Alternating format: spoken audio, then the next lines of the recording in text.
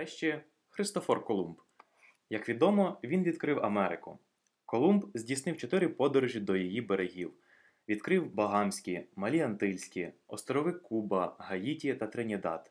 Але він так і не зрозумів, що знайшов не те, що шукав. А шукав Колумб західний шлях до Індії, адже східний вже було зайнято. Та знайшов Колумб Америку. Цікаво, що немає жодного достовірного портрета Христофора Колумба. Причиною тому, ймовірно, було те, що спочатку він був бідним моряком і піратом, потім жив на островах, де не було портретистів. Декілька разів Христофор був в'язнем різних тюрем і ховався в монастирі від помсти. Тож ми таки не знаємо, як виглядав один з найвидатніших мандрівників усіх часів. Дивимось на карту. Ось наші чотири подорожі Колумба. А це відкриті ним острови. Зараз ми бачимо ще одну велику людину епохи географічних відкриттів, а саме Фернана Магеллана. Магеллан вперше здійснив навколосвітню подорож, чим підтвердив кулясту форму Землі. На своєму шляху він робив відкриття. Наприклад, він пройшов через вузьку протоку на півдні Південної Америки і вийшов у океан, який з часом назвав Тихим адже за три місяці подорожі йому не трапилося жодного шторму. Протока з часом почала називатись Магелановою. Відкрив Магелан і архіпелаг Вогняна Земля, та спочатку він назвав його землею димів. Назва ця пов'язана з численними димами від вогнищ місцевих жителів, що було видно навіть з моря. Магелан вважав, дими є наслідком вулканічної діяльності, та іспанський король Карл І повелів перейменувати архіпелаг на землю вогнів, бо, як кажуть, диму без вогню не буває. Взагалі, навколосвітня подорож Магеллана була сумною, адже майже всі люди загинули під час плавання. Додому повернулося лише 18 чоловік на чолі з Хуаном Елькано. 10 серпня 1519 року флот з п'яти кораблів під командуванням Магеллана покинув Іспанію. 24 серпня наступного року судно Сантьяго було відправлене до берега у розвідку, але на зворотному шляху воно розбилося і потонуло. Вижило лише два матроси.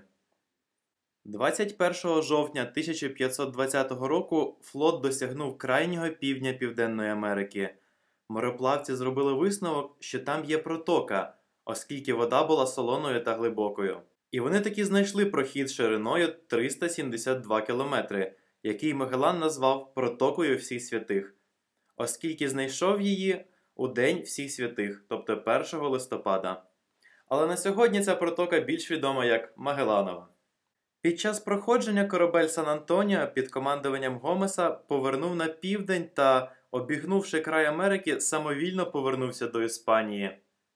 28 листопада Магеллан став першим європейцем, що проплив з Атлантичного океану в Тихий, Тихим Магелан його назвав через відсутність штормів впродовж його подорожі. Хоча, як нам відомо, Тихий океан найбільший і найнеспокійніший у світі. Подорожуючи Тихим океаном, у мореплавців закінчилась провізія, і багато людей померло від синги та голоду. 7 квітня 1521 року моряки дістались до острова Себу, що біля Філіппінських островів. І вже через 20 днів під час одного з боїв з місцевим населенням Магелан загинув. Далі шлях продовжив лише корабель Вікторія під командуванням Хуана Елькано. І врешті-решт, 6 вересня 1522 року Елькано таки дістався до Іспанії. Наступний сьогодні Абель Тасман. У 1642 році він очолював експедицію, яка з півдня обійшла Австралію та в ході якої було відкрито острови Тасманія та Нова Зеландія. Під час своєї другої подорожі в 1644 році він проплив повз східне узбережжя Австралії до південного узбережжя Нової Гвінеї. До речі, саме завдяки йому на картах було відображено також західне узбережжя Австралії. Тасман всі свої подорожі здійснював на замовлення голландської Ост-Індійської компанії, яка займалася торгівлею, тож мала потребу у нових товарах та золоті. Однак підсумки обох експедицій Тасмана розчарували Ост-Індійську компанію, бо він не знайшов ані золота, ані прянощів. Та все ж, він відкрив нові торгові шляхи які компанія вирішила закрити, аби вберегти від конкуренції. Дивимось на карту. Маршрут подорожей Тасмана ніби описує два кола біля берегів Австралії. Цікавою є історія відкриття материка Австралія. Відомо, що голландці були на берегах Австралії раніше Кука. У 17 столітті успіхом завершилося плавання у її пошуках, організовані голландцями. Ще у 1605 році корабель на чолі з Віллемом Янзоном досяг північно-західних берегів Австралії. Цю землю Янзон назвав Новою Голландією і голосив володінням Нідерландів. Та голландці ретельно приховували своє відкриття і не здійснювали освоєння нової землі. Тому Кук вдруге відкрив Австралію та розпочав її колонізацію. На малюнку ви бачите маршрути всіх плавань довкола Австралії. Подорож Янзона зображена чорним кольором, Джеймса Кука фіолетовим, Абеля Тасмана коричневим. Поговоримо трохи про російських мандрівників. Велике значення у той час мали подорожі землепроходців. Вони досліджували територію за Уралом, землі Сибіру, доходили до Тихого океану та навіть до Північного Льодовитого. Тільки уявіть, наскільки важко було подорожувати землями Сибіру в 16-17 століттях, адже це суворий край з дуже морозним кліматом.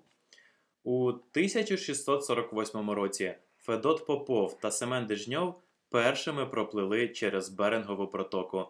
Як ми бачимо на карті, завдяки цій експедиції була досліджена Північно-Східна Азія, доведено існування протоки між Євразією та Північною Америкою, а також відкрито Чукотський півострів, а на ньому крайню східну точку Євразії мис Дежньова. Повернемося трішки назад у часі. Пані та панове, Френсіс Дрейк. У 1577 та 1580 роках він здійснив другу навколосвітню подорож. Під час своєї подорожі він довів, що вогняна земля це острів.